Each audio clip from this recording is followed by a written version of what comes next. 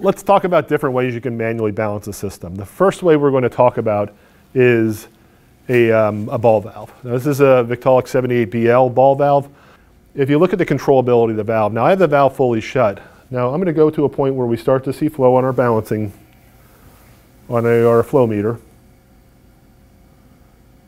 Now you'll notice I'm getting that valve to about 20, 30 degrees open, and I'm finally starting to see some flow on the meter. So basically, I have a valve that operates across 90 degrees from fully closed to fully open, and I'm already using 30% of that range just to get the valve to open.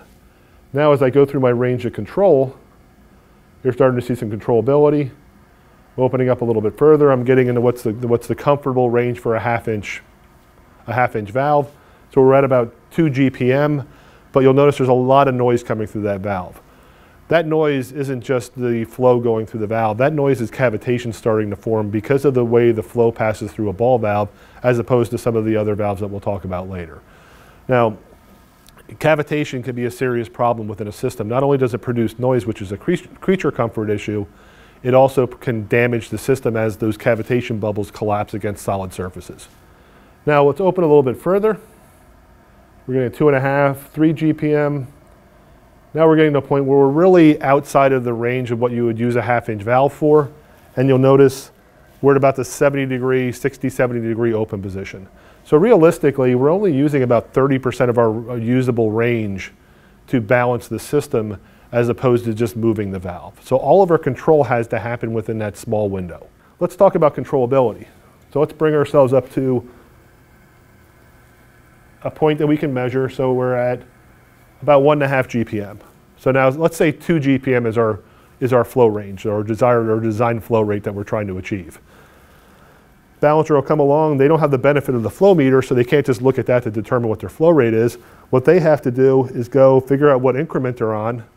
In this case, they'll be on increment number five, and then take the CV value, either use an app or use a, a calculator to calculate what their flow rate is, and they say, well, hey, I'm not at my design flow rate, I have to go the next step up. Now, the next step up on this case is six. So now if I go up to six on that scale, you'll notice I've jumped an entire GPM. I've completely passed my design flow rate and got up to the next point I can measure, which is now overflowing. I'm now beyond the point where I want to balance or the point where I want to be for my design flow.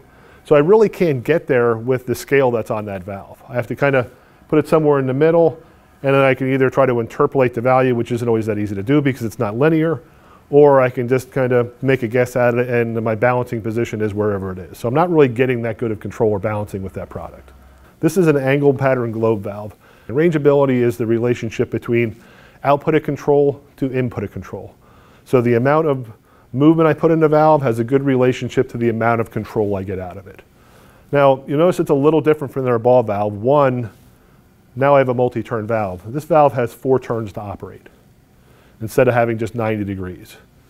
So instead of instead of the, the 10 position scale, now within each of those four turns, I have 100 discrete positions that I can set the valve at. I have a visual indicator showing where those positions are. So now you have an accurate read on what position that valve is in. Let's see the difference. So now I'm at my GPM and a half like I was before. I'm trying to get my design flow rate to two. Now I'm turning, and I'm actually passing about 40 measurable positions on that hand wheel in order to get to that position. So now, instead of being halfway in between two positions, I now have 40 different positions I can verify along the way to be able to bring myself up to my design flow rate. So much better control, much better rangeability. Globe valve, you have no trouble whatsoever closing the valve all the way. You can use it to isolate the system, do your service, and then if you set the valve properly using a, a three millimeter Allen key and a memory stop, when it's time to open the valve back up again, you can take it right to your balancing position by opening it up all the way. I have the memory stop set on this one already. So now I'm taking it right back up and I'm right at my 2 GPM design flow rate again. Now contrast that with the ball valve. Now I have a Teflon seated ball valve. It's in an intermediate position. So the opening of the ball valve is sitting across the seat on the valve. Now, problem with Teflon is it has a property called cold flow. And if you have a, the ball sitting halfway across the seat, the Teflon will tend to cold flow around the edge of the ball, and you wind up with a little indentation on the seat where you need to seal. When you go to close that valve, you bring it to its closed position, and that indentation will cause a leak with a leak path within the valve. And that valve really isn't the best thing for using for isolation at that point. So normally, if you see ball type balancing valves, they'll usually incorporate a secondary ball valve to isolate the system if you need to.